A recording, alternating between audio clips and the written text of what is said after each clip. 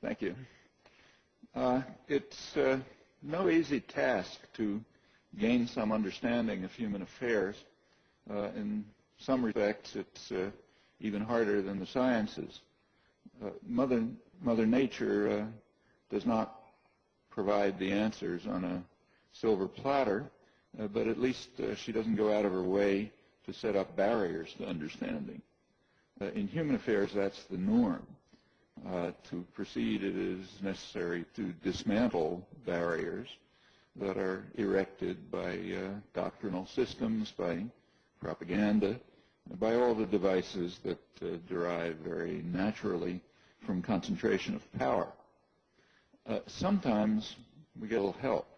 Uh, eminent figures are kind enough to provide us with some assistance. For example, at Harvard University, there's a professorship uh, called the Professor of Science of Government, title I've always liked. The uh, Professor of Science of Government, Samuel Huntington, uh, explained the function of the Soviet threat in a leading professional journal. He said, you may have to sell intervention or other military action in such a way as to create the misimpression that it's the Soviet Union that you're fighting. That's what the United States has been doing ever since the Truman Doctrine in 1947.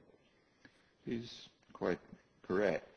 If you look case by case, uh, you discover that quite generally the real enemy has been uh, independent nationalism. Furthermore, it's so identified in internal documents. That's particularly the case when, the, when independent nationalism uh, threatens to be a virus that might infect others. Quoting Henry Kissinger, uh, he was referring in this case to the virus of uh, democratic socialism in Chile, uh, which he was afraid might infect others as far as southern Europe. It's not, of course, that he expected the Chilean armies to land in Rome, uh, but rather he was afraid that the model of uh, uh, democratic socialism might be successful in Chile and might inspire others as far as southern Europe. Uh, so therefore it had to be destroyed, as indeed it was, uh, on a day that in Latin America is often called the first 9-11. Uh, it, it's perceived very differently by the rich and powerful. Uh, we can learn quite a good deal about the most important topic, namely ourselves, by examining the effects of the two 9-11s on the societies and beyond, and also the reactions to them. It's an experiment uh, worth undertaking. If you'd like, I can add some comments later. Uh, Huntington's uh, observation about the need to create misimpressions to control the domestic population uh, illustrates what ought to be a truism, namely professions of benign intent by leaders should be dismissed by any rational observer for a simple reason. They're universal, virtually. Uh, they're predictable, and hence they carry no information, so you should disregard them. Uh, that includes the worst monsters, incidentally, uh, Hitler, Stalin, uh, Saddam Hussein, uh, Suharto, others, uh, overflowing with benign intent.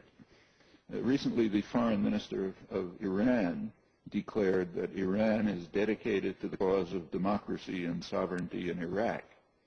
Well, perhaps that's taken seriously by state loyalists, uh, but it's shrugged off as irrelevant by others. And the same is true when uh, President Bush, Prime Minister Blair, Condoleezza Rice, and others uh, issue similar pronouncements. In fact, it's much clearer in this case for reasons that it takes impressive effort to ignore. The reasons are occasionally expressed, though rarely. Uh, for example, recently by the prominent uh, Middle East specialist uh, Augustus Richard Norton, who wrote that as fantasies about Iraq's weapons of mass destruction were unmasked, the Bush administration increasingly stressed the democratic transformation of Iraq, and everyone jumped on the democratization bandwagon, which took some agility. Uh, it was necessary, for example, to overlook the fact that while they were orating uh, impressively about their dedication to democracy, uh, U.S. and British leaders were also announcing that uh, they're among the most uh, accomplished liars in history, uh, since they had driven their countries to war because of what they repeatedly called a single question. So they had insistently proclaimed the single question was, will Saddam Hussein abandon his weapons of mass destruction programs? Uh, but that uh, disappeared quickly deep into the memory hole, while the media and intellectual commentary jumped on the democratization bandwagon with only marginal exceptions. Uh, at the liberal extreme, the commentators uh, hailed what they called the president's messianic vision to bring democracy, which proved that the invasion was the most noble war in history. Uh, there were critics. The critics agreed that it was noble and generous, but perhaps uh, beyond our means, uh, the beneficiaries of our nobility are too backward, and so on. It's very hard to find an exception in media and commentary. It's another experiment I'd recommend. Well, to be fair, there is some evidence to support the near universal uh, dedication to the sudden conversion to the messianic uh, vision. The evidence is that the President, uh, Prime Minister Blair, and other worthies had issued the declaration, so therefore it must be true, uh, as in sufficiently disciplined circles in Iran, I suppose, or when the uh, dear leader issues pronouncements in North Korea. In the present case, counter evidence is overwhelming. Could return to that if you like, but it's irrelevant. The leader has spoken. End of story. Uh, well, returning to the uh, science of government, the professor of the science of government at Harvard, he was actually writing in 1981, and by then it was becoming fairly clear that the pretense that it's uh, the Soviet Union that you're fighting was going to become a much harder sell. Uh, that was understood by the Reagan administration. It's the current incumbents in Washington or their uh, immediate mentors. They took office in 1981, as you know, and they immediately declared that the enemy they are fighting is international terrorism, uh, which they described as the plague of the modern era, return to barbarism in our times, and so on they redeclared their war on terror with much the same rhetoric in 2001. Stress redeclared. Uh, it's been quite important to suppress the record of the first declared war on terror, and that task of suppression has been carried out brilliantly. The first war on terror, declared in 1981, instantly became a massive terrorist war an enormous uh, state terrorist assault on the population of most of Central America, uh, armed, directed, and funded by Washington. When there was finally an independent accounting, uh, the atrocities were almost all attributed to state terrorists, as those who were paying any attention knew all along. Uh, state terror left some 200,000 corpses, uh, huge numbers of other victims, the societies, in some cases, barely survive. In one of the countries that was under attack, uh, the population had an army to defend it. Uh, in the others, the terrorists were the security forces, armed and directed by Washington and its clients, so the toll was far worse. Uh, but it was awful enough even in Nicaragua, uh, which, uh, contrary to doctrine, uh, had a democratic election in 1984 that was probably the most uh, closely and expertly supervised in history.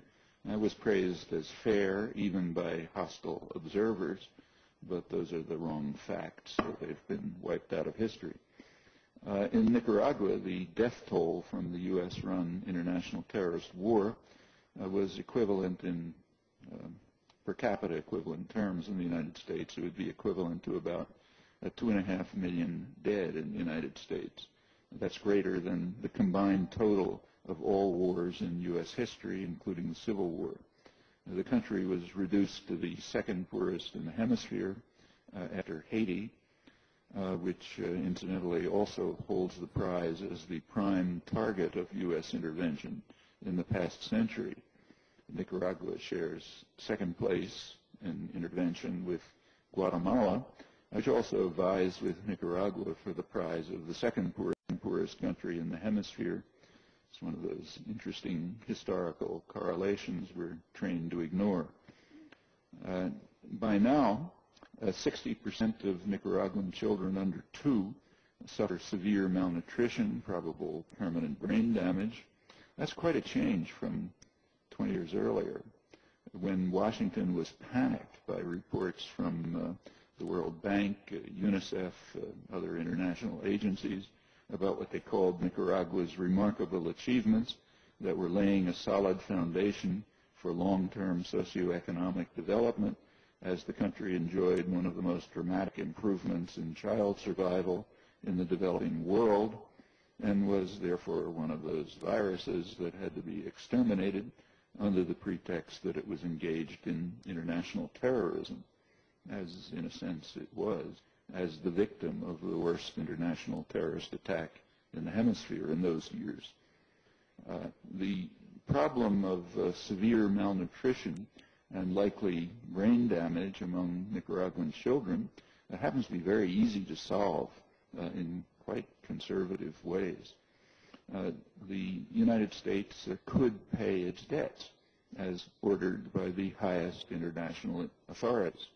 The World Court, which uh, condemned the United States for international terrorism and ordered it to pay massive reparations, and the United Nations Security Council, which affirmed the court judgment in two resolutions, which the United States vetoed, uh, proceeding to escalate the attack. Uh, all of this is excluded from doctrinally approved history. And it's probably close to a historical universal that systems of power suppress their own crimes, although it is much more revealing when that takes place under conditions of freedom, as in our case, and far more important to us when we ourselves are engaging in the practice for reasons too obvious to discuss. Uh, we can see how uh, effectively unwanted truths are uh, disappeared by looking at the reaction to the appointment of uh, John Negroponte as the first director of intelligence. Uh, in the 1980s, uh, he was the ambassador to Honduras, where he ran the largest CIA station in the world, and not because Honduras was of any grand importance in the world scene, but because Honduras was providing the basis for the U.S. terrorist army, the mercenary terrorist army that was attacking Nicaragua. And Negroponte's role was to supervise those operations. And we learn quite a lot about ourselves by looking at the reaction to the appointment of a condemned international terrorist to the position of the world's leading counterterror czar. Uh, the atrocities in Guatemala and El Salvador were far worse, uh, but the U.S. role is deeply concealed in ways that are dramatic and shameful uh, right at this moment, in fact. Again, can elaborate, but I don't want to get too far off track. Uh, so let me return to the main theme. As the Soviet threat lost its effectiveness in controlling the domestic population here, uh, new demons had to be concocted. Well, at first it was states that support terror, but that was a little inconvenient uh, because even with tremendous discipline, it's hard to conceal the fact that Washington is a leading example, uh, not only in Central America. Uh, by the 1990s, a new concept was created, uh, rogue states. Uh, but that was problematic too, because it takes some discipline to suppress the fact that by the late 1990s, uh, much of the world regarded the United States, I'm quoting, as the rogue superpower, the greatest single external threat to their societies, and in the eyes of much of the world, the prime rogue state today is the United States. Uh, again, I'm quoting from the most prestigious authorities in leading professional journals, uh, Samuel Huntington again, and Robert Jervis, who was then president of the American Political Science Association.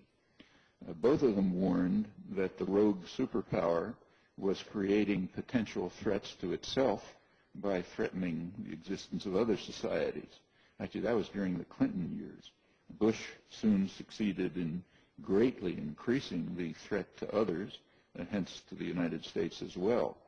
And by now, uh, fear and often hatred of the United States has reached unprecedented heights worldwide, uh, even in Europe, with posing obvious threats to us. Uh, it's more comfortable to ignore such matters or to blame them on uh, envy or uh, inveterate uh, anti-Americanism or some other strange pathology that's rampant uh, outside our borders. Uh, but we do so at our peril. That peril is very real. And what I'd like to do now is turn to some of the imminent crises that are very serious and are getting worse. Um, I'd like to say a few words about three of these crises, which are unusually severe because they reach the level, literally, of human survival. Uh, the first one is environmental catastrophe. Second is nuclear war. And the third is the growing uh, democratic deficit, borrow a term we use for others. Uh, that is the impressive success uh, in excluding from the political arena in the United States the one force that can avert the other two crises, namely the domestic population, which is quite typically the enemy, the main enemy of any system of power, in our case, the enemy of the state-corporate nexus. Uh, we can, in fact, borrow another term that's been invented in the past few years to justify the resort to force in international affairs, uh, the term failed states, from which we must protect ourselves and which we must help, uh, often by devastating them. Uh, the term is used to refer to states that cannot protect their citizens from violence, maybe even destruction, and that have a democratic deficit, uh, perhaps democratic forms but without real substance. Uh, regrettably, the United States is coming to share these characteristics, I mean the U.S. government, a serious danger to its own country and because of our power to the world. Well, on the first crisis, the environmental catastrophe, uh, likely catastrophe, I can be brief. Uh, there's by now an overwhelming scientific consensus that the threat is very real, uh, unpredictable in detail, but possibly very severe, and that urgent action is needed if future generations are to have a chance for decent survival. There have been, as you know, particularly today, Earth Day, there have been international efforts to deal with the crisis, at least in limited ways. The recent uh, Kyoto Treaty is an example. Uh, you read in the media that the United States was one of the few countries that refused to accept the treaty a couple of weeks ago. That's true uh, only if we understand the United States to include the population of the United States, to exclude the population of the United States. The population of the country overwhelmingly favors the treaty, in fact, so enthusiastically that a majority of Bush voters assumed that he favored it because it's so obviously the right thing to do. Uh, these facts bear on the third crisis, the democratic deficit. It's one of many crucial examples illustrating that the bipartisan media consensus is far to the right of the general population, uh, which is, I suppose, why such facts about public opinion are scarcely reported. Come back to that. But let's turn first to the second imminent crisis, nuclear war, which would mean, uh, in effect, uh, an end to biology's only experiment with higher intelligence. It would show that the experiment was a mistake. Uh, one of the uh, most uh, prominent strategic analysts internationally wrote recently that under current policies, largely driven by Washington, a nuclear exchange is ultimately inevitable. He explained the reasons. That's former NATO planner uh, Michael MccGwire writing in the Journal of Britain's Royal Institute of International Affairs. It's the most prestigious international affairs journal in Europe. Uh, comparing the two crises that threaten survival, literally the environmental crisis and nuclear war, and MccGwire has this to say. Uh, by comparison with global warming, the the cost of eliminating nuclear weapons would be small, but the catastrophic results of global nuclear war would greatly exceed those of progressive climate ch change because the effects would be instantaneous and could not be mitigated. Uh, the irony of the situation is that it is in our power to eliminate the threat of the threat of global nuclear war, but climate change can no longer be evaded. Uh, to achieve that result, however, the democratic deficit in the United States will have to be overcome. Uh, just how imminent the threat is, no one can say, of course. Uh, the world has come very close to possible terminal nuclear war in the past, repeatedly, eliciting very little comment or interest. Some of the very recent illustrations are really uh, utterly astonishing. Come back to that too. Uh, the Non-Proliferation Treaty, NPT, is commonly regarded as the foundation of any serious hope uh, for um, avoiding the inevitable destruction that's virtually guaranteed by the inexorable logic of nuclear weapons. Uh, in a few weeks, the five-year review of uh, review conference of the NPT is going to take place. Uh, in an article that just appeared, uh, Thomas Graham, who's the former U.S. Special Representative for Arms Control, uh, Disarmament, and Nonproliferation, he writes that the NPT has never seemed weaker or the future less certain. If the treaty should fail in the coming weeks, he warns, a nuclear nightmare world might, may become reality. The primary threat to the NPT, as he and others stress, is U.S. government policy, although other nuclear states share some of the responsibility. The treaty was a compact in which the nuclear powers pledged to undertake good faith efforts to eliminate nuclear weapons. Uh, none of them have, and Bush administration has gone beyond declaring that it no longer accepts that core provision of the NPT, and furthermore, it is even planning to violate it more extensively by developing new nuclear weapons, which will be the end of the treaty.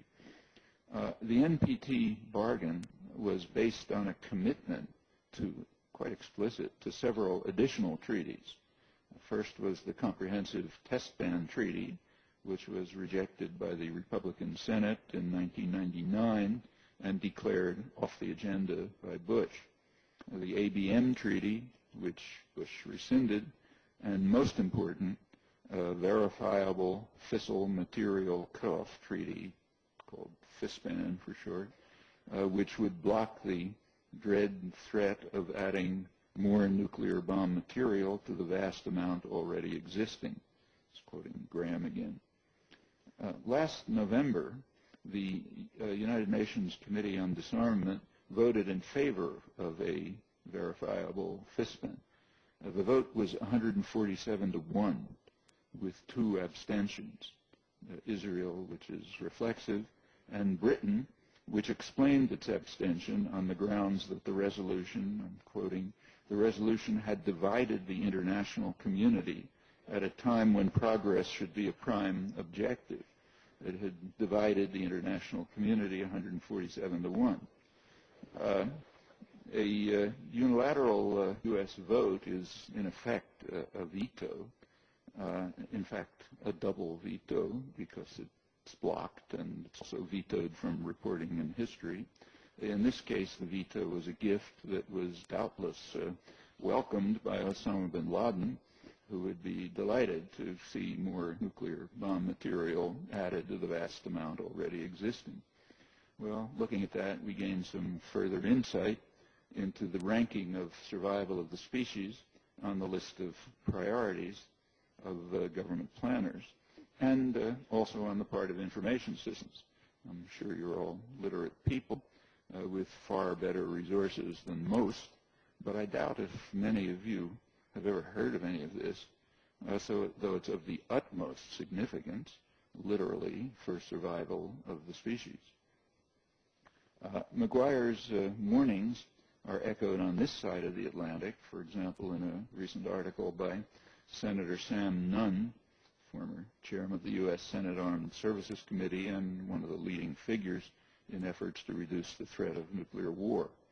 Uh, he warned that the chances of an accidental, mistaken, or unauthorized nuclear attack might be increasing uh, as a result of policy choices that leaves um, U.S. policy choices that leave America's survival dependent on the accuracy of Russia's warning systems and its command and control, we are running a risk of an Armageddon of our own making.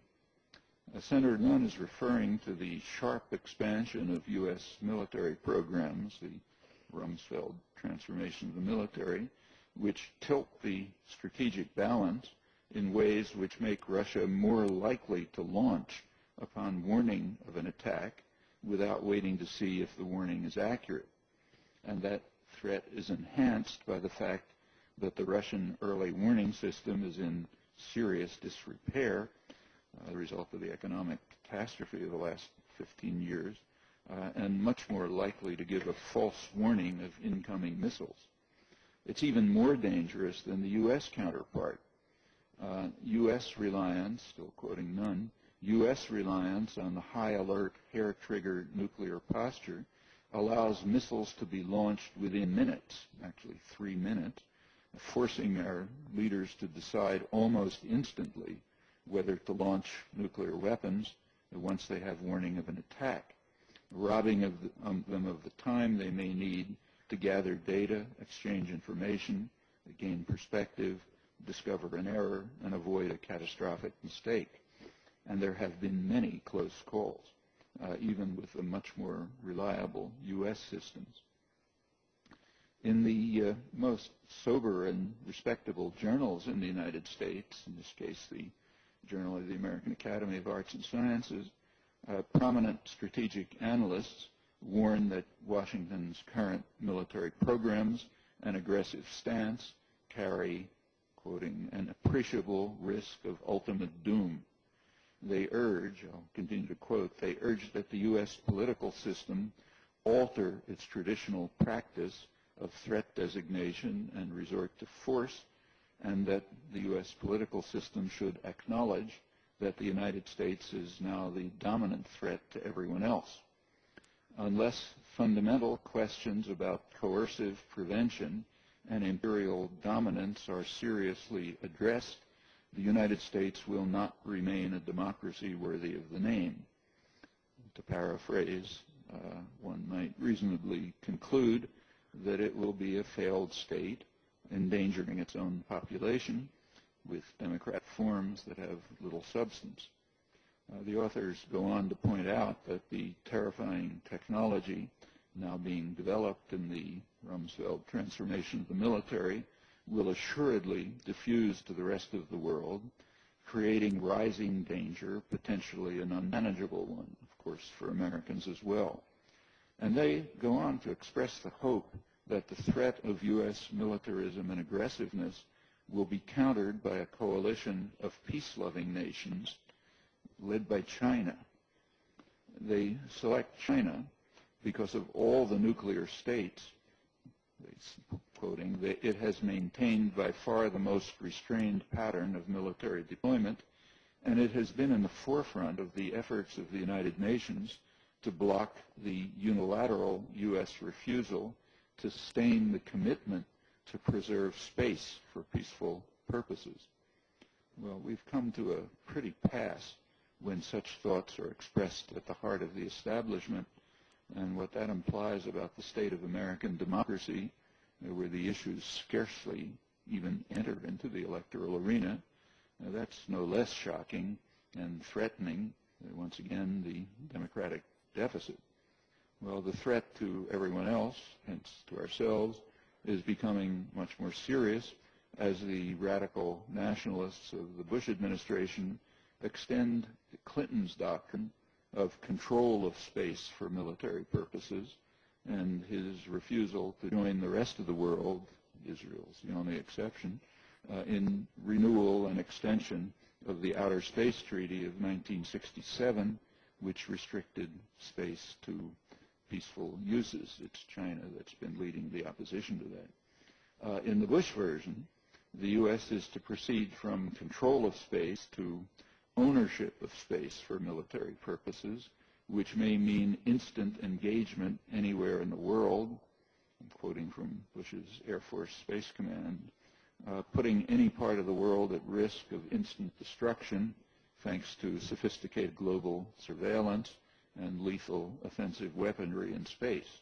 and reciprocally endangering the people of the United States as well in the customary pattern. Uh, a related concern is that nuclear weapons may sooner that nuclear weapons may sooner or later fall into the hands of terrorist groups who might use weapons of mass destruction with lethal effect. And those grim prospects are also being advanced by Bush administration planners, quite consciously. These are no secrets. Uh, exactly as had been predicted, their aggressive militarism has driven Russia to significant expansion of offensive capacities and is also compelling Russia to transfer nuclear weapons constantly across its huge territory to counter mounting U.S. threats. Uh, leading strategic analyst Bruce Blair, head of the Center for Defense Information, points out recently that this per perpetual motion creates a serious vulnerability because transportation is the Achilles heel of nuclear weapon security, ranking in, in danger right alongside maintaining strategic nuclear forces on hair trigger alert. The possibility of terrorists grabbing such a weapon as it shuttles between deployment fields and factories in an effort to counter growing U.S. military threats could spell eventual disaster for an American city if they're stolen, say by Chechen rebels. Uh, but even worse, the seizure of a ready-to-fire long-range strategic nuclear, strategic long-range nuclear missile, or a group of missiles capable of delivering bombs to targets thousands of miles away, could be apocalyptic for entire nations, in fact, to the world. And that risk, he says, extends beyond Russia.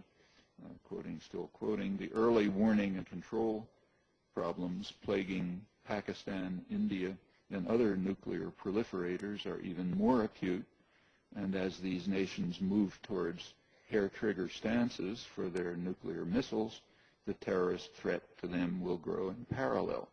And the logic is well understood. Uh, the U.S. Drive, has already driven Russia to adopt the U.S. policy of uh, launch on warning, hair-trigger response. It will, if it continues, force China to do the same. India will react to China. Pakistan will react to India, and we're off and running. Uh, the uh, dangers are being consciously escalated by the threat and use of violence, which has long been predicted, is stimulating nuclear proliferation, along with the uh, jihadi terrorism that traces back to Reagan administration programs to organize, arm, and train radical Islamists, not for the defense of Afghanistan, as was proclaimed, but for the more uh, usual and ugly reasons of state. Well, Washington's programs and policy choices are not the only factor driving these developments, but they're certainly a significant one, and most agree the most significant one. They fall within a much broader context, with roots going back to the Clinton administration and beyond, uh, but now being taken in even more ominous directions by the Bush administration. Uh, all of this is almost entirely out of the range of public discourse and does not even enter marginally into electoral choices. And that is another illustration of the third of the imminent crises I mentioned, the significant decline of functioning democracy. Uh, the invasion of Iraq is only the most striking of the many examples of the limited concern of Washington planners for terrorism and possibly nuclear destruction. It was undertaken with the expectation that it would probably increase the threat of terror. That was predicted by intelligence agencies and strategic analysts worldwide, and was also predicted by U.S. intelligence. Uh, agencies gave a report to the president a few weeks before the invasion, where that's what they predicted. And the predictions came true, as widely recognized by the same specialists and intelligence agencies, including U.S. intelligence. its most recent analysis concludes that the invasion of Iraq created a new training area for professional terrorists who will disperse throughout the world, replacing the Afghan havens that were established at first by the Reagan administration and its British and Pakistani allies. Uh, the U.S. and Britain proclaimed the right to invade Iraq because it was developing weapons of mass destruction. That was, again, the single question, their phrase, as stressed constantly by Bush and Blair and other high officials. Well, it's now conceded that the only weapons of mass destruction were those that were produced in the 1980s, uh, thanks to aid provided by the U.S. and Britain along with others, uh, aid that incidentally continued long after Saddam's worst atrocities and the end of the war, war with Iran. Uh, George Bush first had no concern with that as he continued to provide means for developing weapons of mass destruction. Uh, after the uh, 2003 invasion, there was sophisticated, massive looting of the installations that were constructed in the 1980s. That includes uh, high precision equipment capable of making parts for nuclear and chemical weapons and missiles, and also uh, lethal toxins that can be used for biological weapons. Prior to the 2003 invasion, these sites had been controlled by UN inspectors. Nobody could get to them. But they were kicked out of the country, and they've been kept out since. Uh, meanwhile, the Rumsfeld-Wolfowitz uh, occupation forces left the sites unguarded, and they've been massively looted. Uh, where this uh, huge mass equipment has gone, no one knows, and it's not very comfortable to guess. Uh, ironies are almost inexpressible. Uh, the U.S. and Britain allegedly invaded to prevent the use of weapons of mass destruction that did not exist. And it, they succeeded in providing the terrorists that they had mobilized with the means to develop weapons of mass destruction that the U.S. and Britain had provided to Saddam. Those would be regular headlines, screaming headlines in a free press in a functioning democratic society. I think it's unnecessary to stress that. Well, there are many other uh, illustrations of the willingness of top planners to risk increase of international terrorism. Uh, and they reveal that terrorism is simply not a high priority. It's not that planners want terrorism, it's just not a high priority in comparison with other objectives, such as controlling the world's major energy resources is a very powerful lever of world control. Uh, one of the more astute of the senior planners and analysts is Zbigniew Brzezinski, former national security advisor, uh, recently pointed out that the occupation of Iraq gives the United States what he called critical leverage over its European Asian rivals. Uh, actually, he was reiterating the conclusions of uh, leading planners right after World War II who recognized that control over what the State Department called the stupendous source of strategic power in the Gulf region, region, control over that, would give the U.S. veto power over its industrial rivals.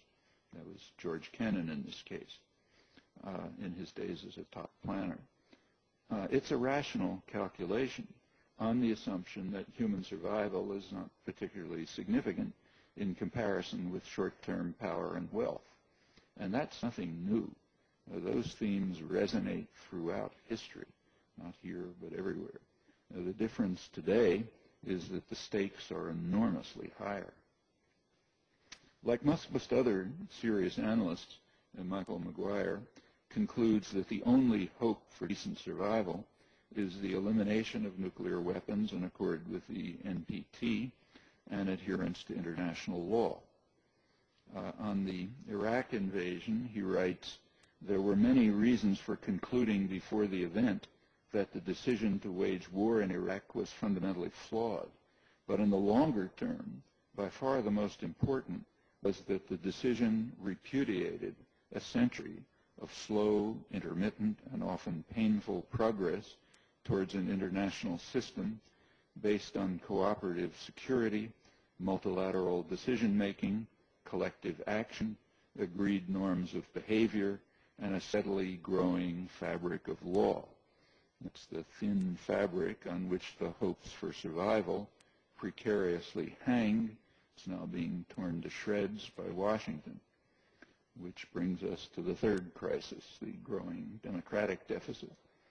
For a functioning democratic society, it's plainly necessary for citizens to be aware of public opinion and to participate in the formation of public policy. So take Spain, for example, far from an ideal democracy. Uh, a year ago, Spain was bitterly condemned for capitulating to terrorism, for capitulating to terrorism because voters chose to withdraw troops from Iraq unless they are under UN supervision. Uh, unmentioned in the denunciations of Spanish cowardice was that this was also the position of 70% of the American public. In fact, it had been for a long time. Uh, since April 2003, a large majority called for the UN to take the lead in reconstruction, political transition, and security in Iraq, with U.S. participating but not leading the operations, essentially what Spanish voters voted for. Uh, the two countries differ in that Spanish voters were aware of public opinion, while here people can find out only by conducting a research project. Uh, and Spanish voters had a choice, unlike here, uh, where the issue is off the agenda for the bipartisan consensus and the media. Not a word about it in the last elections. In fact, the scale of the Democratic deficit uh, was revealed quite dramatically by the November 2004 presidential election. Uh, immediately before the election, major studies were released by the most prestigious institutions that monitor public opinion. In a functioning democratic society, these would have been front page news and the focus of commentary and discussion. Here, the reports were scarcely mentioned in the national press, not at all. Uh, a look at what they revealed suggests a reason. The studies revealed a very sharp divide between the public and the bipartisan media consensus. I've already mentioned the Kyoto Treaty in Iraq, but the same was true very broadly. For example, it was true of the crucial question of international law and the use of force.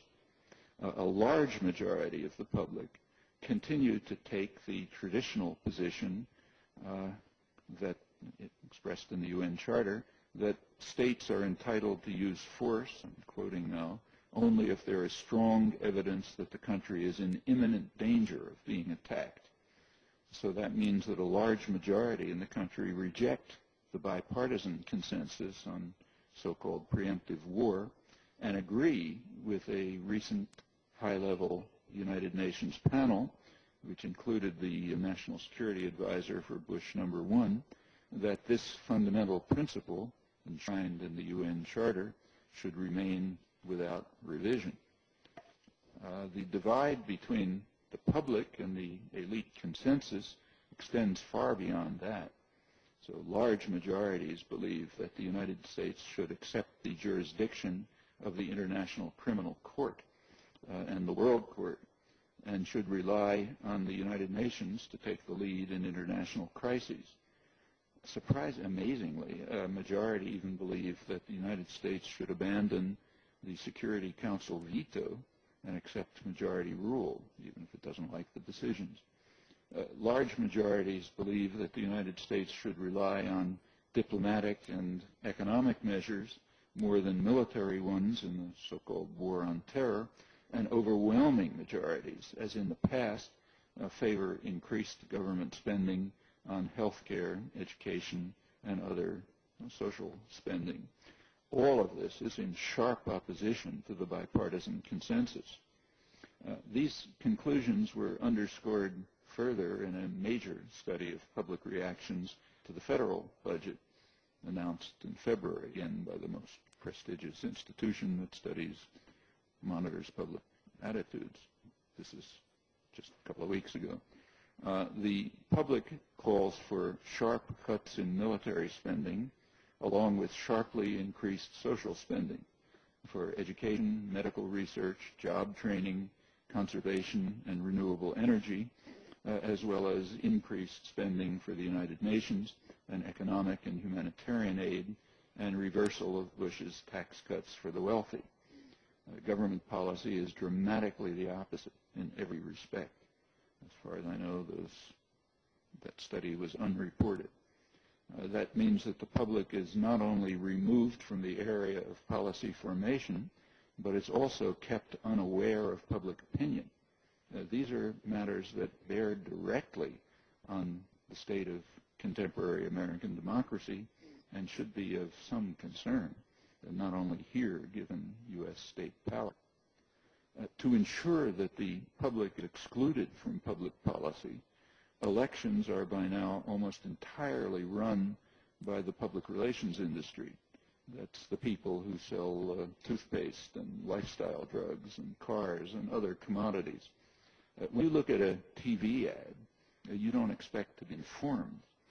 So if a car manufacturer, say, wanted to provide information, it would produce a brief statement describing the characteristics of the next year's models.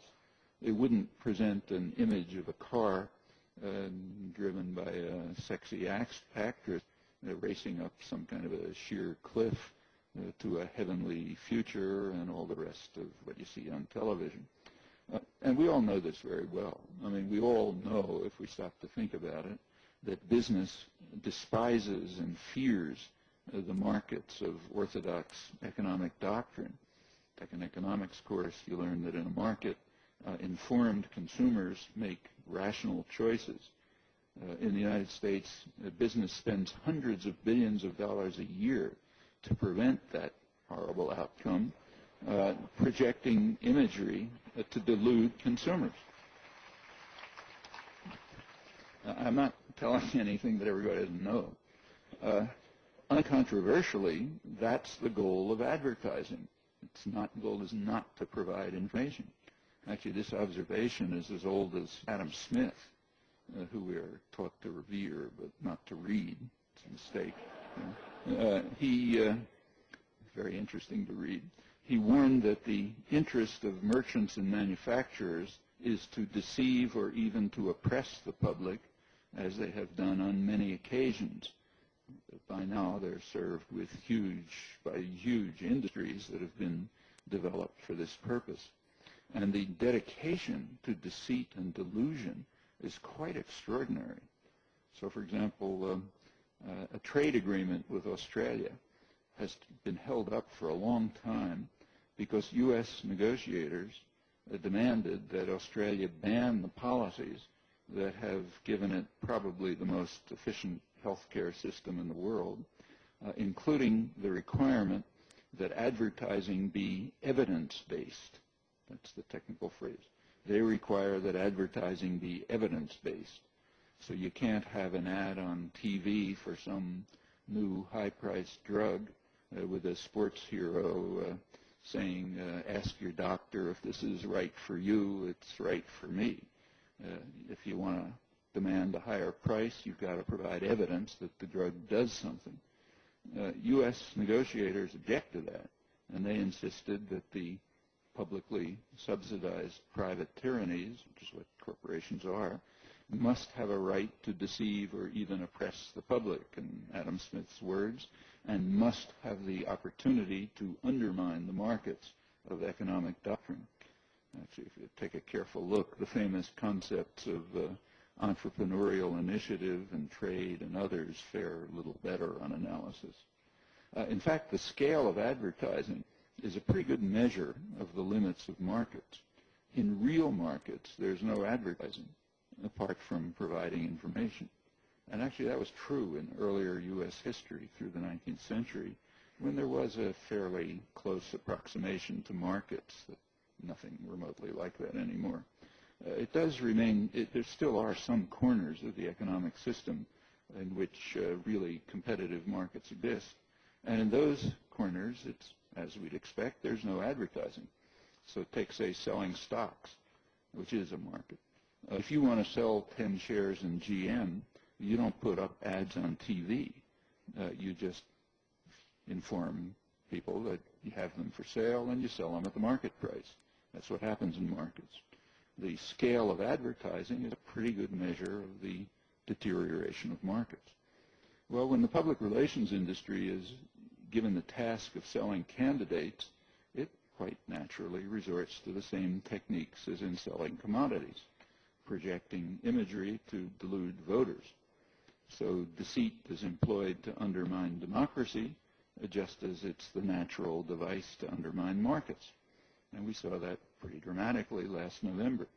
As the polls showed, the voters had very little idea of the stand of the candidates on issues, and in fact, many false beliefs.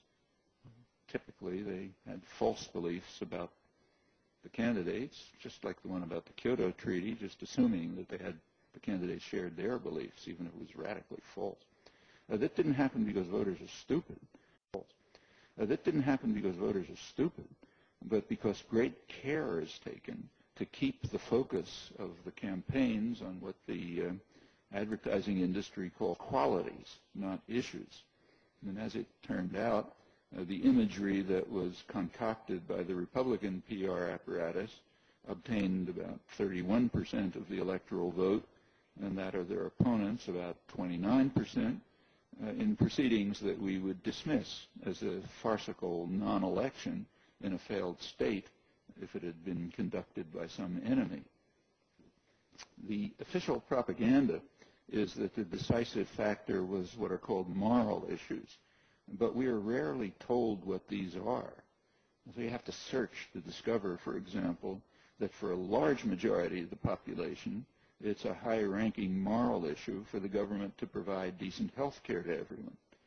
Uh, and or to find that among the highest ranking moral issues are greed and materialism and poverty and economic justice, ranking much higher than abortion and gay marriage. A, a person's moral commitments are determined by his or her actions, not by pretty words, which are cheap. Uh, we all know that.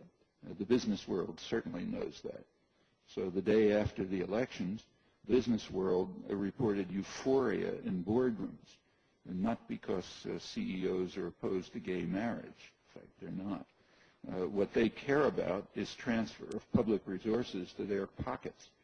And these gifts they receive uh, in the sharp tax cuts for the wealthy that the public opposes and in uh, legislation. So, for example, the bankruptcy bill that was just passed was written by the credit card industry, as the Wall Street Journal happily reported in a front page story. Uh, the bill, written by the industry, transfers liability for risky loans with high yield to the borrower, not the lender, to the poor, not the rich. It's not a principle of capitalism. It's not a principle of economic theory, but it's a very important issue for those whose moral values are to serve private concentrations of wealth. Actually, domestic policies can be predicted with remarkable accuracy by simply answering the question, who gains and who pays the costs? Uh, consistently, concentrated private wealth and power gain, and the costs are borne by the majority of the public and by future generations. Those are the operative moral values no time to run through examples here, but again, it's an instructive experiment. Well, I've said very little about the effect of our actions and choices on the rest of the world. It's, of course, enormous, given our wealth and power. Uh, but even apart from that, the imminent crises that I've mentioned should be a primary concern for people of my age who care about the world that we're leaving to our grandchildren and also to younger people who will have the task of dealing responsibly with these crises, at least if they share the same concerns about their own lives and about the generations to follow. Thanks.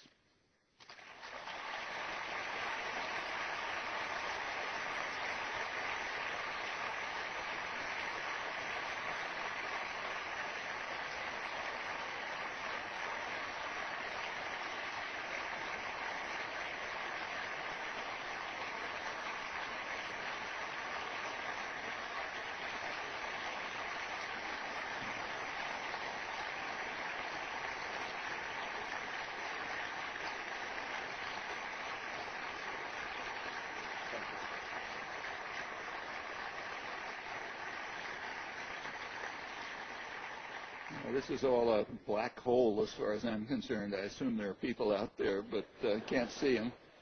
But we have about half an hour for Yeah. questions. Okay, I was told there are some mics out there. I I can't see them. I'm, ah, good. Can you raise the light? Yeah. Okay, where, where, where, where There's microphones just here Oh, I see. There's one. and here. And there's People one. will queue Okay. up at those. Okay, if you could queue up behind the mics, we can just go up and back. Yeah, go ahead. Good day, and thank you for visiting Washington State University. I recently saw a document that says that the United States is moving toward being a fascist state, if it hasn't already. And it looks as evidence of a strong banner of nationalism, the vilification of of uh, minorities, and they're talking about uh, gays and lesbians as, as one of those uh, such things as claiming to be the guardians of morality, the suppression of dissent, and so forth and so forth. Do you think that that's too strong a, a, a statement, or how would you frame that? Um, well, you know, your judgment's as good as mine. It's a subjective judgment, so I have nothing to say that tells anything you don't know. But uh, it, we should remember, however, that this is that uh, fact of the matter is that we uh, there's all kind of things wrong with U.S. government policy and the country and so on, but there's a lot that's right with it. And one of the things that's right with it is it's the freest country in the world. Um, it's about the only country in the world where there's real protection of freedom of speech, for example. I mean, there isn't in England. Uh, in France, they don't even understand the concept, uh, literally. Uh, and th- that was not given as a gift from above. It was won from below. In fact, the uh, the Supreme Court finally uh, uh, really reached a, an enlightenment standard, an 18th century standard of freedom of speech in the course of the civil rights movement in the early 1960s. It's part of the civil rights movement, which is these popular movements that compel institutions to react to advance justice and freedom. But that's a tremendous thing, and it's not the only example. I mean, whatever one thinks, by comparative standards, we're very free. Everything you described is correct, uh, but it goes way back. you know, in fact, about uh, 30 years ago, I guess it was, one of the uh, well-known um, uh, sociologists, Bertram Gross, uh, wrote a book called Friendly Fascism, describing what he thought would be the U.S. evolution towards a kind of fascism without, you know, concentration camps. Uh, going back further, around 1940, I suppose, uh, maybe the leading political economist in U.S. history, Robert Brady, a Veblenite economist, uh, wrote pretty much the same thing. Uh, he was also a historian of fascism, and he pointed out similarities. As far as pre- repression of dissent is concerned, I mean, that's been going on through American history. And attacks on minorities, I have to talk about. After all, this was a slave society. Know, it was for hundreds of years before uh, slaves even got actual rights to vote, just in the 60s. And the indigenous population, the part that was not exterminated, is, you know, well, I don't have to tell you. Uh, and we can go on and on. Uh, I mean, like, you know, I'm Jewish. I mean, I grew up in a period not that long ago when anti-Semitism was just rampant, you know, everywhere. I mean, where I lived, I mean, at Harvard when I got there, you know, everywhere. Uh, so discrimination against minorities is way, goes way back. Uh, suppression of dissent has been far worse than it is now. Uh, there's nothing to com- in American history to compare with Woodrow Wilson's um, Red Scare, which was devastating. Crushed independent thought, destroyed the labor movement, uh, you know, threw out thousands of people they didn't like. Uh, awful. And there's been progress in that respect, but it's a danger, and you have to keep alert to it. Uh, my own guess is that there's a strong enough uh, resistance to state oppression that it won't get as far as the people in the White House would like. Uh, but, uh, you know, that's not something you can just take for granted. You have to fight for it. Thank you. Oh, uh, Mr. Chomsky, first of all, thank you for the speech. It was certainly the most uh, relevant, accurate uh, speech, speech about modern politics that I've ever heard. but uh, on the microphone. Uh, you've said previously, and I'm quoting, part of the whole technique of disempowering people is to make sure that the real agents of change fall out of history and are never recognized in the culture for what they are. So it's necessary to distort history and make it look as if great men did everything. That's part of how you teach people they can't do anything. They're helpless. They just have to wait for some great man to come along and do it for them. And my question, I, I, I had that in mind after your lecture last night at Gonzaga. Uh, when you finished, everybody just filed out the exits, some 3,000 persons, and um, there was zero effort to take advantage of that unusual collection of progressive energy and to materialize it into new membership, uh, new organization memberships, or raising money just to cite two possibilities, memberships or raising money just to cite two possibilities. Um, I was really sad about that. Could you talk about your role in the process of progressive change and the importance of just seizing every opportunity to organize? I completely agree with you. In fact, I feel that all the time. What there should have been, and should be always, is uh, tables outside with uh, books, uh, sign-up forms, information, and so on. So if people are really interested in what they hear, they'll have a chance to do something about it. Uh, otherwise, exactly as you say, the energy dissipates. But those are things that have to be done by local organizations.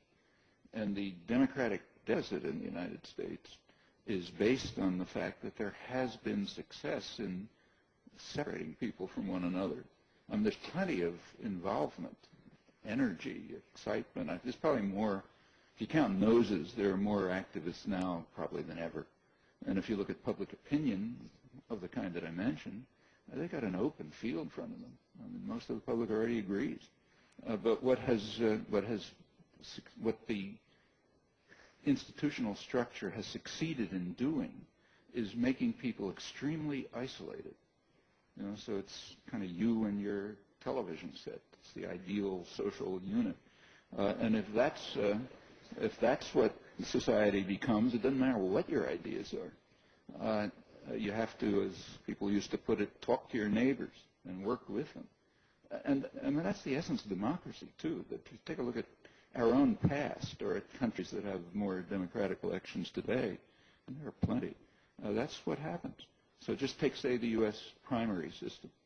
I mean, the way primaries work here, uh, say the first primary in New Hampshire, uh, candidates come to town and they call their party managers call a meeting and the candidate says uh, some meaningless things and uh, then they go home. I mean, if you had a democratic society, it would work totally differently. I mean, what would happen is the people in the town would have been working constantly all the time, not just at elections. And at the time of the election, they'd get together and say, here are the kind of things we want. Uh, and if someone comes in, they shouldn't listen to him. They should say, look, here's our program. Uh, if you're willing to stand up for this program, we may vote for you, otherwise go home. Uh, that would be the basis for a democratic society. And that's true of just about anything. And, uh, uh, and uh,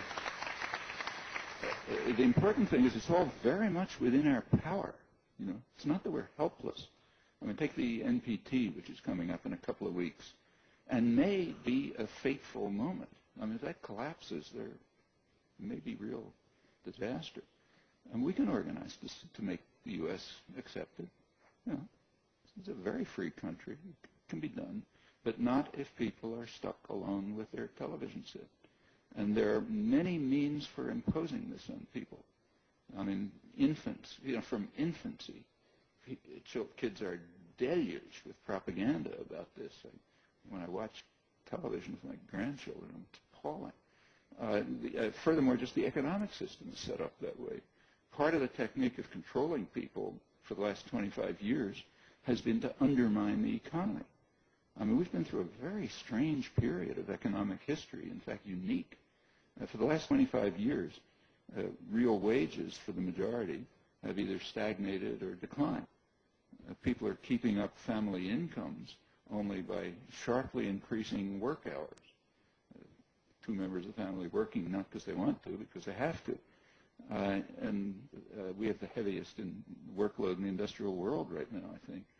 Uh, well, you know, people working 50 hours a week to put food on the table, uh, and uh, their kids are uh, deluged with propaganda saying, buy me this, that, and the other thing.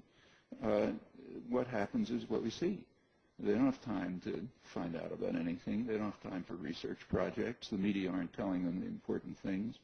Uh, what they do is max out on credit cards, and then they get smashed by the bankruptcy bill that was just passed. Uh, the uh, that has to be overcome, you know, and it's not beyond our capacity, but it's not going to happen by, our, by itself. I mean, any more than the civil rights movement happened by itself, or women's rights were won by themselves, or anything. Slavery ended. I mean, it's all the same way. It just takes hard, consistent work. It's a lot easier here than almost anywhere else, and we're doing less of it than other people. That's something we ought to be worried about. Professor Chomsky, first of all, thank you. Truly is an honor uh, hearing you speak today. Uh, forgive my irreverence. As a man from Massachusetts, I'm sure you can understand the connection to a Red Sox hat. Right. uh, my question actually fits nicely with what you just said. I, I'd like to hear your comments about the role of third parties in bridging the, the democracy gap or the, the democratic deficit, as you called it. Uh, if my information is correct, you supported Ralph Nader in the 2000 election. Uh, do you think that one of the, one of the tenets in, in, in Nader's uh, platform is that the election procedure needs to be restructured. That is, the, the bureaucracy is responsible for organizing it and orchestrating it. Everything from the debates to the financing needs to be restructured to allow for third parties. My question is, do you think it's necessarily, or it's a, it's a necessity to augment the two-party system, or is it, is it not fair to blame the, the organizational structures in, instead of ourselves and our own, our own uh, apathy and our own lack of involvement and lack of information at the grassroots level. I understand. Well, just uh, thanks for mentioning the Red Sox. Just Sunday, I have a grandson who's a super jock, and he took him to the Red Sox game last Sunday, so right in the right mood. Uh, they they won too. So, uh, as for my own attitude toward Nader, I took the same position in the year 2000 that I took in 2004, contrary to what you read on the Nader website the position was that in swing states, you know, where the vote matters, uh, you should vote against the worst candidate, which happens to be Bush by a long shot, in my opinion. Uh, but uh, and uh, now that hap- I mean that means pushing the Democratic ticket, whether you like it or not. That's the that's the rational choice, in my opinion. In non-swing states, like say Massachusetts, where the outcome is predetermined, you do what you want. And then there are a lot of considerations. Like developing an independent electoral alternative is a consideration. Well, then comes the question, do I vote for Nader? Do I vote for the Green Party? Uh, do something else? Uh, but and uh, it, uh, it's a question, but I think it's a small one. I mean, the real point is that you, you, until you get the basis for a functioning democratic society, the technical questions about electoral practices don't matter very much. I mean, the real question, I mean, Ralph Nader's done some terrific things. I think he's done extremely important things. But on democracy, I just disagree with him. I mean, democracy is not a matter of showing up every four years and saying, vote for me. You know, I mean, there has to be some, a lot going on in those four years.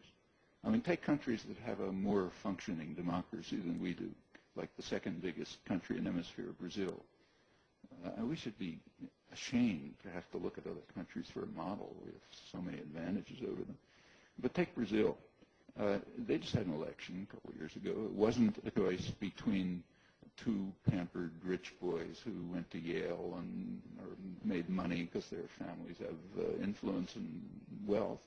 Uh, no, it was they elected a uh, very impressive figure uh, from their own ranks, a peasant, a union organizer, he never had an advanced education.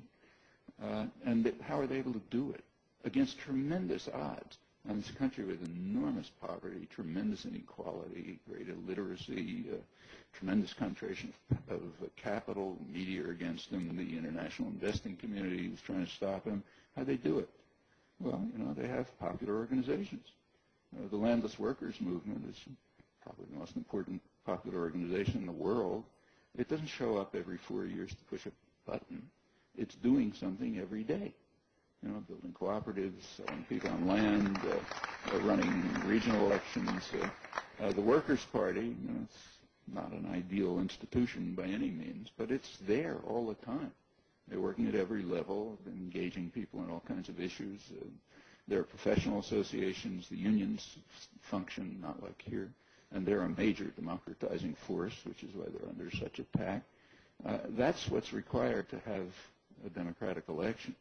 I mean, I think there are technical things wrong with our electoral system, and that's not a particularly radical position. So, like the leading uh, uh, uh, political theorist in the United States, the most respected one that deals with electoral processes, Robert Dahl at Yale, has been arguing for years that uh, you know the U.S. system ought to be turned to a parliamentary system uh, if it's going to be democratic, not a sort of first past the post system. And he has good arguments for that. Uh, and, that, and that would mean not a third party, but parliament, you know, minority representation. Uh, and, that, and that would mean not a third party, but parliament, you know, minority representation. And uh, you can read his, I think his books are perfectly sound. They're right in the middle of the mainstream. You know. Uh, and yeah, I think those suggestions make sense, but the major problem lies elsewhere. I mean, it lies in our using the enormous freedom and privilege that we have to act instead of sitting by and watching. Uh, that's what has to happen. Mm-hmm.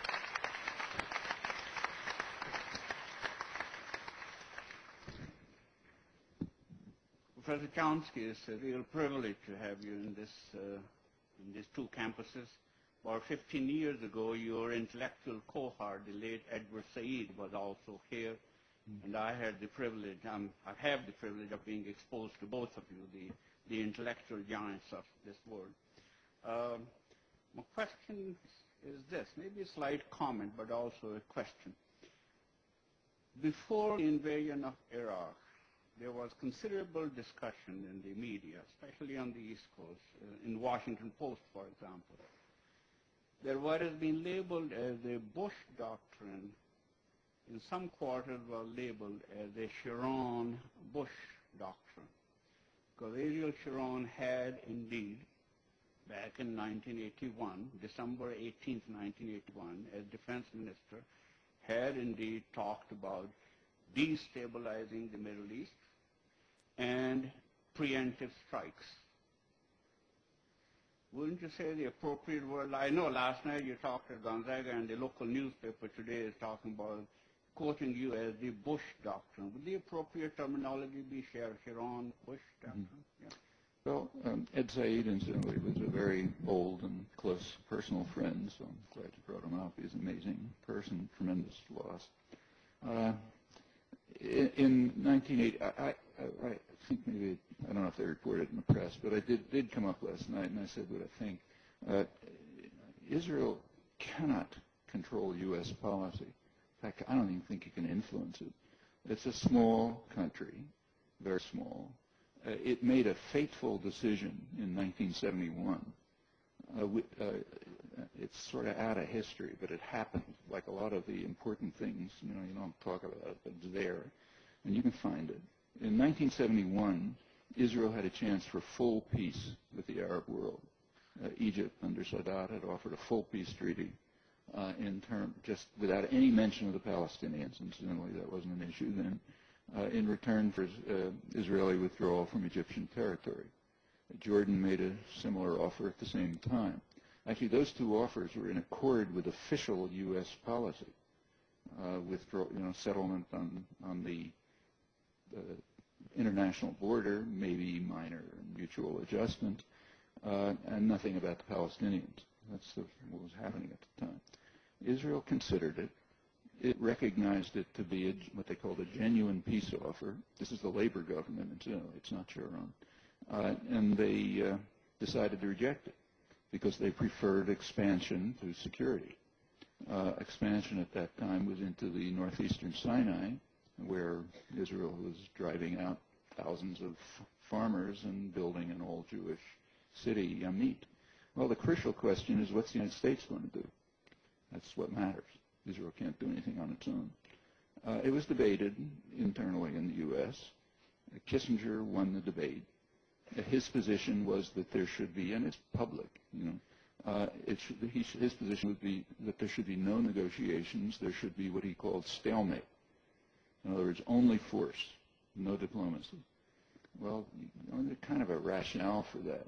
There were very racist assumptions at the time, both in Israel and the United States, about the uh, incapacity of Arabs to uh, mount any military force. You know, they don't know which end of the gun to hold and all that stuff. It was really incredible. Uh, so Kiss, making that estimate, uh, Kissinger just disregarded it, and so did Israel. Uh, the, and they went ahead. That led directly to the 1973 war, uh, which turned out to be a very close thing for Israel. You know, it came close to destruction, a very close thing for the world. You know, it came close to a nuclear war. Okay, at that point, uh, in Israel, there was a serious reassessment and a long discussion about the uh, disaster and the racism behind it and everything else. Here, nothing. Uh, in fact, here is just totally distorted. I won't go on with the story. Uh, but it's basically Kissinger's war. In 1979 at Camp David, uh, the United States accepted Sadat's 1971 proposal. It's regarded here as a great triumph, diplomatic triumph. You know, Carter got the Nobel Prize. It's a diplomatic catastrophe. I And they had rejected the offer in 1971. It took a major war and near disaster to force the United States to accept what had been offered in 71, but it's all reconstructed by you know, the doctrinal system. Uh, as far as preemptive war, and that con- continues to be true. I mean, Israel's dependent on U.S. decisions. Not entirely. So in 1981, Israel did make a preemptive strike that, Israel, that the U.S. was opposed to that same year uh, Israel bombed the Iraqi, um, uh, an Iraqi nuclear reactor. Uh, and the U.S. happened to be opposed to that at the time. Well, we have pretty good information about what that's now reconstructed as uh, uh, preventing, uh, delaying Iraq's nuclear weapons program. It was precisely the opposite. It's the typical effect of use of violence. Use of violence quite typically enhances violence. And that's what happened this time the bombing of the reactor initiated Saddam's program. I mean, that reactor was inspected immediately by the head of Harvard's physics department, a specialist in nuclear power. And he wrote a long article about it in Nature, which is the world's leading preeminent uh, science magazine, in which he described in detail how this reactor couldn't have been used for nuclear, nuclear, uh, nuclear weapons. It wasn't designed for that. And he went into all the details. We now have evidence from Iraqi defectors uh, that that's exactly true. Uh, that after the bombing, Saddam started off on a nuclear weapons development program. And that's uh, very commonly the effect of uh, preemptive use of violence. History is full of it. Uh, Iraq War, as I mentioned, is another. So yeah, there was a Sharon doctrine, but uh, the U.S. will do what it wants. It's far too powerful to be uh, influenced more than marginally by a small state. And I think if you look at the record, that's what you see. I mean, Sharon's current programs of taking over the West Bank are not new programs. Actually, the program that with the wall and everything else is pretty much what he proposed 10 years, uh, more than 10 years ago, 1992. He can do it because you are willing to pay for it. Uh, as long as Americans are willing to subsidize it and give the the military and diplomatic uh, support for it, yeah, sure, they'll go ahead and do it. I mean, as soon as the you say we're not doing this anymore, it's over. In fact, the large majority of the American population are opposed to it. It's one of the other cases of the democratic deficit. The large majority of the population is in favor of the international consensus on a political settlement on the international border. Uh, but that the public, again, is out of public policy. And the consistent story right up to the present, again, Bush happens to be an extreme end, but it's a narrow spectrum, of supporting this takeover of the occupied territories, which is going to, it is going to destabilize the region, of course, they all know that. It's going to be a major source of terrorism. It's going to be a major source of threats. It may do us all in. You know? Uh, okay, but uh, that's the short-term goal that the U.S. has been pursuing for years and still is. in a more extreme way under Bush. Not because Sharon is forcing them to do it, but because that's their choice. Uh, just as nobody forced Kissinger to uh, insist on stalemate in 1971. Could have accepted Sadat's offer, you know, could have had peace for the last uh, 30 years.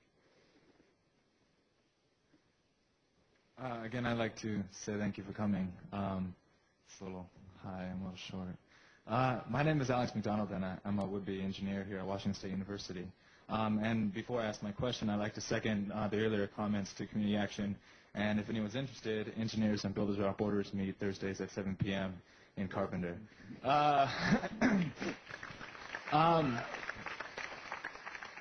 and you don't have to be an engineer or science major to participate at all, or architecture or construction management manager rather. Um, so my question is, uh, IP or intellectual properties are, do you feel that they're an integral component to personal freedoms or a detriment? And what place does intellectual property have in uh, public and academic settings? That's a very interesting question, and it has an interesting history. Uh, the uh, World Trade Organization, the Uruguay round that set up the World Trade Organization, uh, imposed it's, it's called a free trade agreement. It's in fact a highly protectionist agreement. Uh, the U.S. is strongly opposed to free trade, just as business leaders are, just as they're opposed to a market economy. Uh, a crucial part of the Uruguay round, business leaders are, just as they're opposed to a market economy. Uh, a crucial part of the Uruguay round, the World Trade Organization, NAFTA, and the rest of them, is very strong, uh, what are called intellectual property rights. What it actually means is rights that guarantee monopoly pricing power to private tyrannies. So if you take, say, a drug corporation, most of their profit, uh, the, the most of the serious research and development, the hard part of it, is funded by the public. In fact, most of the economy comes out of public expenditures through the state system, which is the source of most innovation and development. I mean, computers, the internet, uh, you know, just go through the range. It's all coming out of the state system primarily. There is research and development in the corporate system, some, but it's mostly at the marketing end. Uh, and the same is true of drugs. Uh, but once the corporations are gain the benefit of the public paying the costs and taking the risks, they want to monopolize the profit. And uh, the intellectual property rights, uh, they're not for small inventors. In fact, you know, the people in doing the work and the corporations, they don't get anything out of it. Uh, you know, a dollar if they invented something. But uh, it's the corporate tyrannies that are making the profits, and they want to guarantee them. The World Trade Organization uh, proposed new enhanced intellectual property rights, patent rights, which means monopoly pricing rights, far beyond anything that existed in the past. In fact, they are not only designed to maximize monopoly pricing and profit, but also to prevent development. It's rather crucial. World Trade Organization rules introduced product patents. Used to be you could patent a process, but not the product, which means if some smart guy could figure out a better way of doing it, he, he could do it. They want to block that. It's important to block development and progress in order to ensure monopoly rights, so they don't have product patents. Well, if you take a look at, say, um, um, take U.S. history, okay, suppose the colonies, after independence, had been forced to accept that regime. Uh, you know what we'd be doing now? Uh, first of all, there'd be very few of us here. But those of us who would be here would be pursuing our comparative advantage in uh, exporting uh, fish and fur. You know, that's what economists tell you is right. Pursue your comparative advantage. That was our comparative advantage. We certainly wouldn't have had a textile industry. And British textiles were way cheaper and better. Actually, British textiles were cheaper and better because Britain had crushed Irish and Indian superior textile manufacturers and stolen their techniques. So they were now the preeminent textile manufacturer, by force, of course. Uh, the U.S. would never have had a textile industry. I mean, it grew up around Massachusetts, but the only way it could develop was by extremely high tariffs, uh, which protected unviable uh, U.S. industries. So the textile industry developed, and that has a spin-off into other industries, and so it continues. I mean, the U.S. would never have had a steel industry. Again, same reason. Uh, British steel was way superior. Uh, one of the reasons is because they were stealing Indian techniques. uh, British engineers were going to India to learn about steel making well into the 19th century. Uh, but Britain, you know, ran the country by force so they could take what they knew, and they developed a steel industry. And the U.S. imposed extremely high tariffs, also massive government involvement, you know, through the military system as usual.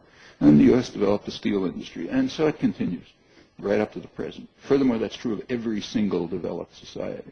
You take a look at that's one of the best known truths of economic history is that the only countries that developed are the ones that pursued these techniques. Uh, the ones that weren't, the, there were countries that were forced to adopt free trade, liberalization, the colonies, and they got destroyed. You know, I mean, the divide between the first and the third world is really since the 18th century. It wasn't very much in the 18th century, and it's very sharply along these lines. Well, you know, that's what the intellectual property rights are for. In fact, there's a name for it but in economic history. Friedrich List, the famous German political economist in the 19th century, who was actually borrowing from Andrew Hamilton, uh, called it kicking away the ladder. First, you use state power and violence to develop, then you kick away those procedures so that other people can't do it. Uh, that's uh, intellectual property rights has very little to do with uh, individual initiative. I mean, like Einstein didn't have any intellectual property rights on relativity theory. Uh, science and uh, you know, innovation is carried out by people who are interested in it. And that's the way science works. You know, I mean, there's an effort in very recent years to commercialize it, like to commercialize everything else. So you don't do it because it's exciting and challenging, and you want to find out something new, and you want the world to benefit from it. You do it because maybe you can make some money out of it. I mean, that's, uh, you know, well, you can make your own judgment about the moral value. I think it's extremely cheapening, but also destructive of initiative and development. And the, the, the, the profits don't go back to individual inventors. Um, there's a very well-studied topic. I mean, take, say, one that's really well-studied and that MIT is involved in. Uh, uh, uh, uh, computer-controlled machine tools, very fundamental component of the economy. Well, there's a very good study of this by David Noble, uh, leading political economist. What he pointed out, what he discovered is that uh, the techniques were invented by some small guy, you know, manufacturing guy working in his garage somewhere in, I think, Michigan. Uh, and when the, when, actually when the MIT mechanical engineering department learned about it, they picked them up and they developed them and ex- extended them and so on. And big corporations came in and picked them up from them and finally it became a core part of U.S. industry. What happened to the guy who invented it? He's still probably working in his garage in Michigan or wherever it is. And that's very typical. Uh, I, I, just don't think it has much to do with uh, innovation or independence. It has to do with protecting major concentrations of power, which mostly got their power as a public gift, and making sure that they can uh, maintain and expand their power. I, I don't, and these highly protectionist devices, I don't think, you, you really have to ram them down people's throats. They don't make any economic sense or any other sense. So, uh, what role, though, do you think that they should play in academic public institutions? Well, I don't think they should play any role. But uh, the, uh, I mean, since the uh, since 1981, there was a there was a an amendment by amendment which gave universities the right to uh, patent uh, uh, inventions that came out of their own research. Actually, that's a kind of a gag. I mean, nothing comes out of the university's own research. It comes out of public funding. That's how the university can function. That's how their research projects work. Uh, the whole thing is set up to socialize cost and risk to the general public. And then within that context, yeah, in your biology lab, you invent something. But I don't think universities should patent it. They should be working for the public good. And that means it should be available to the public. uh, Thank you. Hello, Dr. Chomsky. I'm so thrilled that you're here. This, to me, is the biggest honor to have you here. You're, the, I think, the most important speaker we've ever had at WSU. Oh, thanks. Because I took my son, my grandson to the Red Sox game. Could you sign my book for me, please? Sure. Just hang around afterwards, or now. You mentioned the new bankruptcy law. last week when Barbara Boxer was asked how in the world that was ever passed, she said that the Republicans were really good with words. And I was thinking about um, euphemisms like uh, Clear Skies Act and Healthy Forests and some of the things that are coming out now as far as being anti-faith.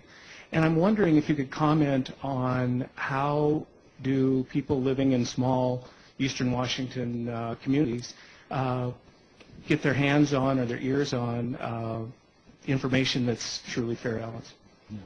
Well, you're absolutely right about the. I mean, the last 10 or 20 years, the. I mean, you know, it's always uh, politics has always been a pretty shoddy affair, but the last 10 or 20 years, mainly Republican Party politics have been taken have been dedicated to propaganda to a level that would have made George Orwell wince.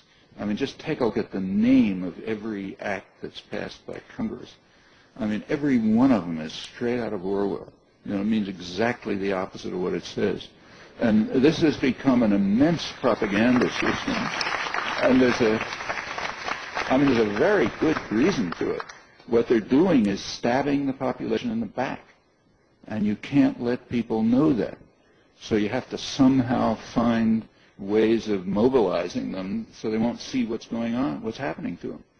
Uh, so therefore you bring up uh, so-called moral values, you know, um, whatever it may be, any device you can for getting people to pay attention to something that doesn't matter uh, to those who hold real economic power. I mean, the, the moral values of the Bush administration and its predecessors are extremely simple in essence.